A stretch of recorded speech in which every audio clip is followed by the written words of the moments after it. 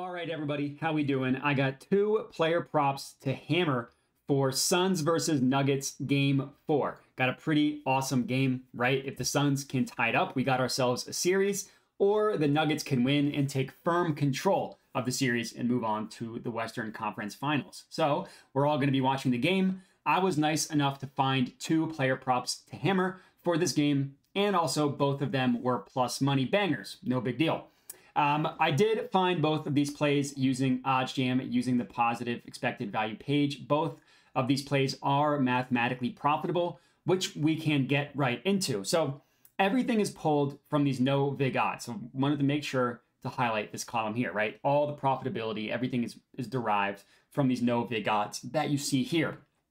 So play number one, as I scroll down a little bit, we are locking in Kevin Durant to go over six and a half assists. This is at plus 144 odds at FanDuel. So I really like this play. I think it's a really, really good one. Um, and to talk about those Novig odds as I talk about the play, we see that they have them priced here at about plus 142, right? That's where uh, the Novig odds have this priced. We got it at plus 144. The gap between these two, num- two numbers, that is where your profitability comes into play. So the way it works is these Novig odds, and there's a play, or excuse me, there are odds under the Novig odds for literally every play on the positive EV page. What you need to know about these odds is that they're pulled from the sharpest sports books in the world, right? The sports books that consistently do the best job at pricing odds. We see a bunch of different odds for this play, right? Same exact play. Kevin Durant over six and a half assists, odds ranging from plus 144 down to plus 116. Well, because all sports books have a different method of pricing odds, some of them are going to be better than others. That's just kind of how it is. And what OddsJam did was track what sports books are consistently the best at pricing odds, and then removes the VIG, and then uses a weighted average to pull these odds you see here, which really, when it comes down to it, you can view as the true line of what a market should be priced at, the most accurate representation of a market. Now, I don't blindly hammer every single play on the positive expected value page. Now, I will hammer plays for plus money. What I look for is that the odds of the bet we are placing is truly an outlier compared to the odds of the rest of the sports books. That is the most important thing. So I'll hammer plus 144, I'll hammer minus 144. As long as those odds that we are betting is truly an outlier compared to the rest of the sports books. And let's see where all these books price it, right? We got it all the way up at plus 144. Look at every other book. The closest book is at plus 125.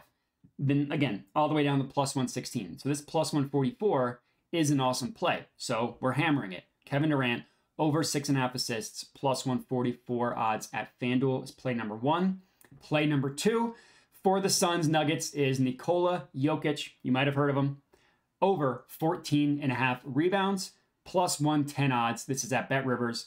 Uh, BetRivers has the same odds provider as Barstool, Unibet, and TwinSpires. So if you use any of those books, you can get this play.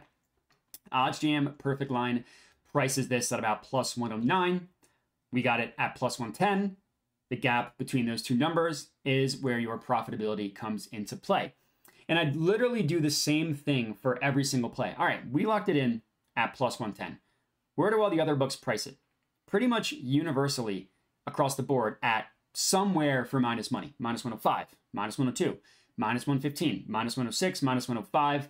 We can ignore underdog because they're DFS companies. They have the same odds for everything. Same with PrizePicks.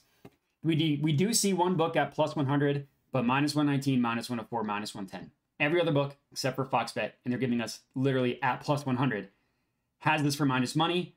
BetRivers is giving it to us at plus 110. That is a value. So we're betting overs on two incredible players, Jokic and Kevin Durant. I like the sound of that. And that's going to be it. So, two player props for you guys to hammer. If you're tailing, comment and let me know. Other than that, remember to like, subscribe, all that good stuff. Thanks for watching and have a good one. All right, everybody, thanks for watching. Hope you enjoyed the video. Below are all of my different social medias where I post picks and plays daily. Make sure to hit me up there. Also, make sure to subscribe to the YouTube channel as I'm constantly putting out new videos to learn how to make money sports betting. And that's it. So thanks for watching and have a good one.